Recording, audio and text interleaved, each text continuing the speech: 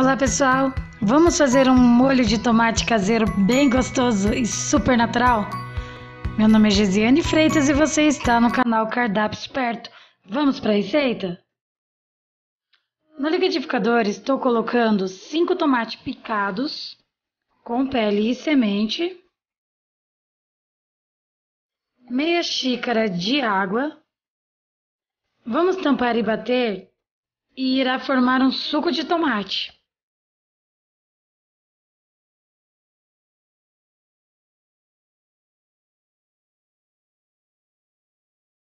Em uma panela estarei colocando um fio de azeite, uma cebola grande picada. Logo em seguida estarei adicionando dois dentes de alho bem picadinhos.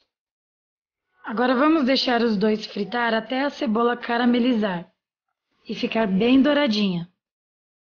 Veja como ela já está ficando bem douradinha, bem bonita. Após a cebola ficar bem refogadinha, vamos adicionar o suco de tomate. Agora estarei colocando os temperos a gosto. Os temperos que eu estarei formando aqui são opcionais.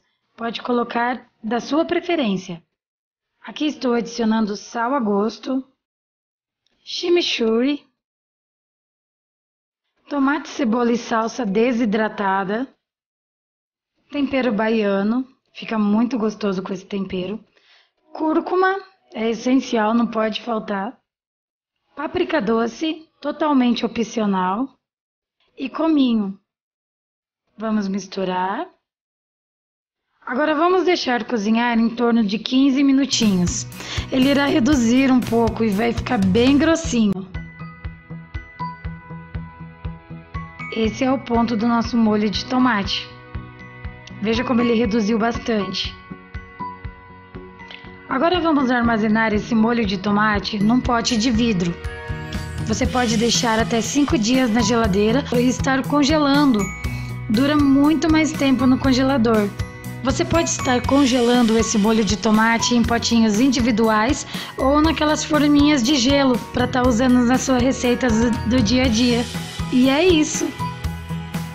Se você gostou desse vídeo, se inscreva no canal e deixe seu like para não perder mais nenhuma receita. Qualquer dúvidas ou sugestões, escreva aqui nos comentários abaixo que estarei respondendo vocês. Um beijo e até o próximo vídeo. Tchau, tchau!